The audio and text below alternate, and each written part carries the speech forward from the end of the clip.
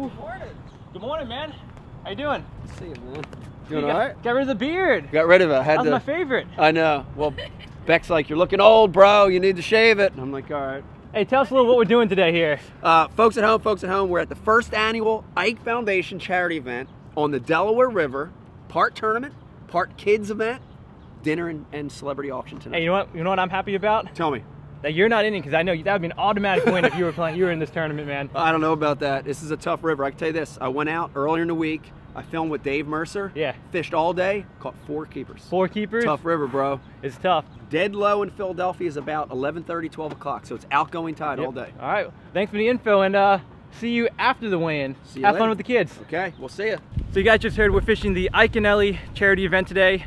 Partners right here, Samurai Angler. Yo, Rob, what are we gunning for today? Uh, we want we don't really want the bass, but we want the lawnmower. the lawnmower. It's an Exmark, twelve thousand dollar. You know how much lawns we'll be cutting if we win that lawnmower, man? Dude, we could cut everything. Let's get on the water. All of New Jersey. So we're all checked in, got all the gear, nothing tied on right now. I thought uh, since I haven't been here in a while, I'd check out the river, scope it out a little. What do you guys think is good for today? We got Leo local. What's what's gonna be hitting today, man? Hey man, I go Senkos for the win, always. Man. Senkos for the win? Yeah. Let me check the water. I'm not sure about the Senkos today. Maybe though. Here's a glimpse of the river. It's looking pretty stained. Did have some rain last week. Cloudy, windy conditions. Let's tie on some moving baits. So I'm still in the middle of rigging up here, but look who we found. How you guys doing? Fishing today with Chris Zaldain. Zaldain, yeah. You've won two titles? Yeah, yeah. You know, we got a couple titles on the you know Bassmaster Elite Series, and uh, you know the last time I was out here on the on the Delaware River, it didn't treat me so kindly. I'm excited to get back out there. I see the tide's falling out there It is. Today. So that's probably the best tide to fish out here in, in any any tidal fishery. Uh, but uh, I'm excited to go out there, Mike. Hey, I'm and, looking forward to it. We'll see, uh, we'll get on 'em. on All right, we made it just in time. We're rigged up. Got a couple of jig, finesse jig, shaky head, spinner bait, square bill, ready to roll. Everyone's here, ready to rock. So we're about to head out. To give you guys a little background, there's about 50 teams entered. 20 of them are like me, getting paired up with Zaldain. 19 other people getting paired up with other pros like Palaniuk. Got other. Who else we got down here? Which pros do we have down here, Oh, man? We, got, uh, we just had uh, Cliff the Cajun Baby. Oh, I see Carl Jocumsen, the Australian, down there.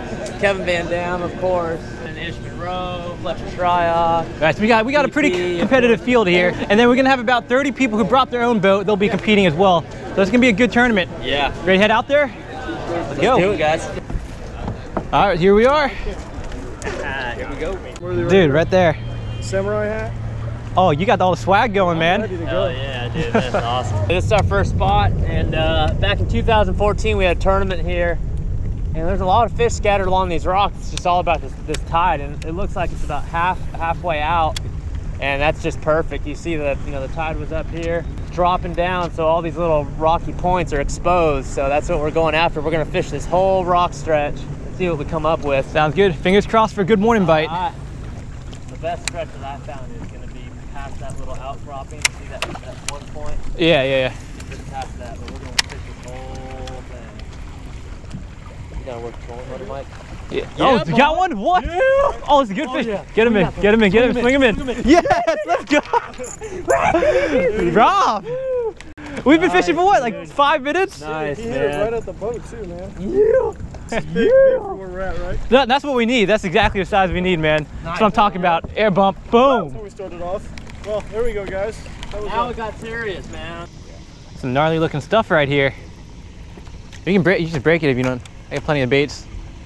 All right, we'll get it. Here we go. Here, I got you. See that?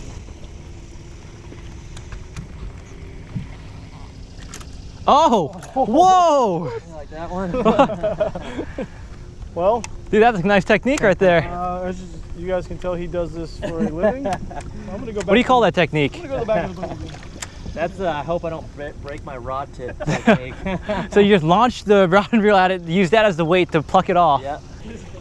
That's gotta be the most clicks he's gotten. But one, that's gotta be a high number of clicks. Oh, we got, we all of us are in there.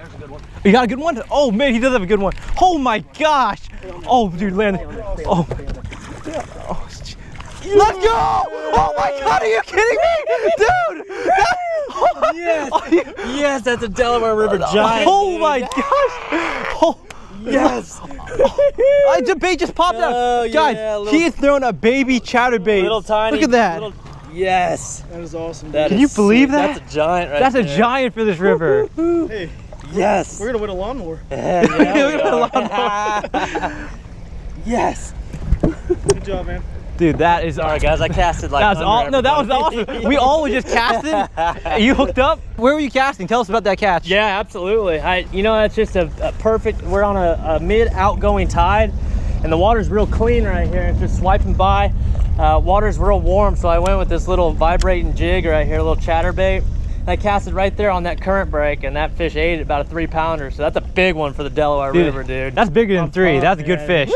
Prime time This right now. it. It's gonna slow down. Yeah, this is a, you know, the mid outgoing, mid to low outgoing. I mean, that's perfect. So all the fish that were up, you know, up shallow, they're trying to use every single little shallow target. There's one, see that one rock sticking out right there? Yeah. A piece of trash on top of that. It's like, that's the deal. When you caught your fish, it was the most classic spot It I've is, seen. It is. It's just a current break. I mean, that fish sets up there for 20 or 30 minutes, you know, on that on that that tide window.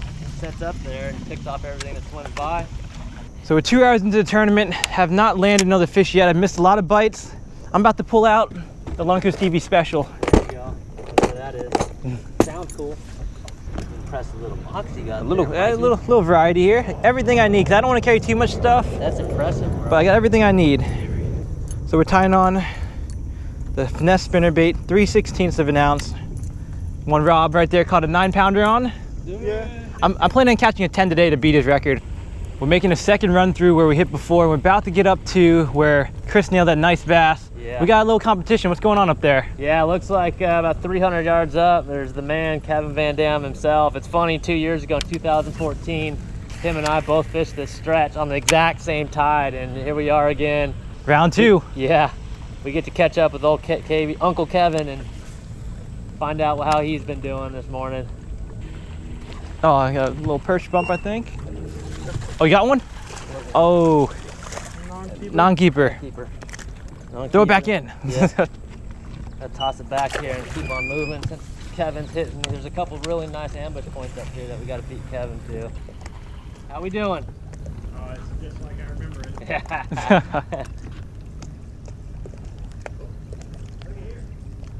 yeah, get her.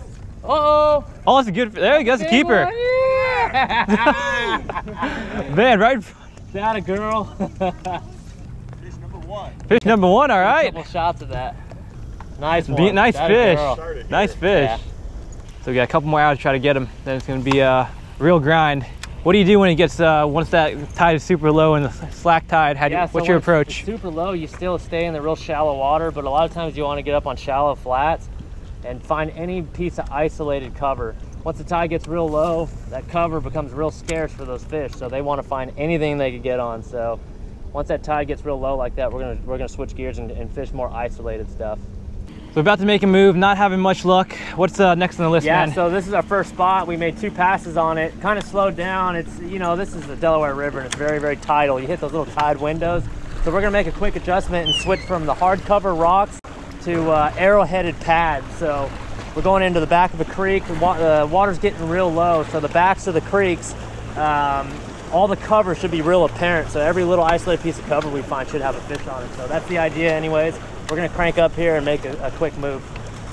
So we're in the creek right now, and you can guys can tell that's the water level goes all the way up Yeah, it's it's like five and a half low. five and a half feet. Pretty much low slack tide, not looking good. Yeah, let's do that. Let's leave sooner than later. I don't want to. Yeah, don't waste time here. much We need to find current. Yeah, well, let's, let's fish up to this rocky point and we'll get out of here. Sounds good. Oh, you got him? No, it's a catfish. See, that's a catfish. Yeah, that's a big, that's a good sized catfish. Woo! Oh, there goes my rod. Oh no, dude! People always break rods with me. Are you kidding? I think you're uh, completely We- bad luck. We were just talking about that. Catfish, broken rod. Awesome. Literally every time I fish with someone, I, they end up breaking a rod. he just throws it back out there. Interesting action. Nice trailer you got on the uh, chatterbait. Cat's real nice, actually. It's become, it's gone, gone like about a four foot heavy action rod now, something like that. Big rods as well. So we're about to finish up a tournament, guys. We still only have two fish in the live well. Fish in the live well. We got a nice one and then a little one that Rob caught back there, and Man, I, I don't know. It's just the Del Delaware River is tough altogether, but just to you know, just to have a few bites, I mean, that's pretty good. We were we, we had a really good start on that outgoing tide. Uh, I think our best shot here in the last five minutes or so is this point coming up, and Mike's gonna throw that chatterbait up there and see how we do.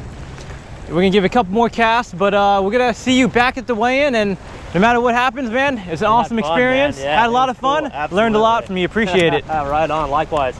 So I missed the weigh-in, but apparently first place went to Joe Sancho. Congrats, Joe. How much weight did he have?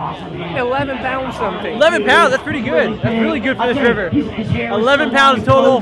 We had five pounds for two fish, so we weren't even close. But next time, next year, I'm coming back. All right, man. We're out here with Brandon Palaniuk. We're enjoying some nice apple juice. Pretty good stuff. Delicious apple juice. What is the most awkward moment you've ever had on tour? The most awkward moment on tour. So you might have to give me a second to think about that one. Go for it. Take a second. I can I can edit it out. That's cool. Gosh dang. Uh, trying to think of the most awkward. Or I can pick, I can pick a new question if you need a new question. Yeah, I don't know. I really haven't had that many awkward moments on All right. tour. All right. So here's a new question. You can't think of an awkward moment. So you're not AP, so I know you don't have tons of awkward moments. He's What- just awkward in general. That's true. What is the craziest fish catch you've ever had on tour? Ah, gosh dang. Uh, dude, you're asking questions that are like really hard All to do you need another question? Do you need one more I question? mean, gosh dang. Um, like six years, awkward fish cage. Um, yeah, give me another one. Give me All another right. All right, another question. another. New question, Brandon. How many times a week do you use Tinder? Zero. Okay, thank- zero. Girlfriend of five years that I love, so that would be a zero. All right, fair enough. Hey, thanks for stopping by. Appreciate it, man. Yeah, you're welcome. Enjoy the apple juice. Thanks. Yeah, you're good. I got All you.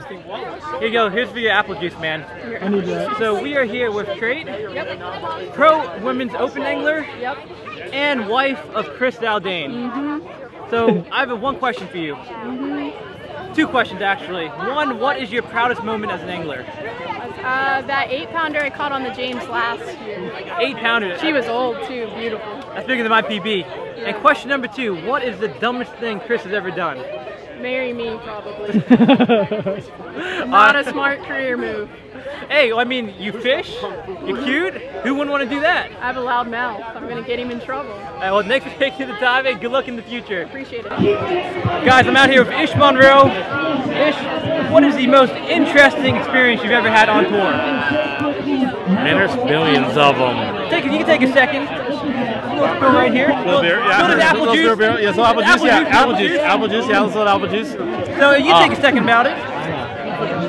Man, I don't know. I mean, from catching 35 pounds on tour to actually seeing probably a world record fish on a bed. You saw it. What, what did that happen? Tell us about that experience. Well, in 2006, we went to Amistad for the first time. Yeah. And so I run as far as I possibly can from everybody to the Mexico side. I'm back in this creek and I'm going down the bank and I'm marking all these five pounders and I'm thinking that they're going to be good ones. They're not for that tournament. okay. So all of a sudden, there's this giant bed, and there's this fish, and I guarantee you, it's sitting there. It's like that long, and it's that wide. It's the biggest. that wide? Yeah, it's that wide. It's like the.